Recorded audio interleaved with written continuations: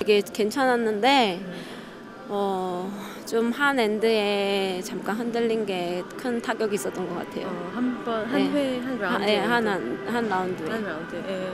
Um, overall, she thinks it was okay, but there was a round that at the end it was um, a little bit shaky and that gave a lot of impact on the whole game. Yeah. 9엔드에 테이크 스테이. 9엔드. 구엔드에 예, 테이크. 테이크. 예.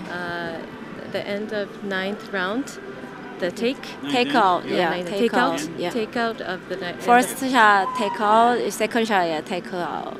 Yeah, stay, yeah, yeah. yeah.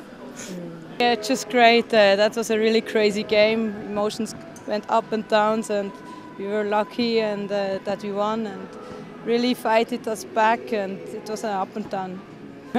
we just knew that we have to believe in our team and to fight and fight.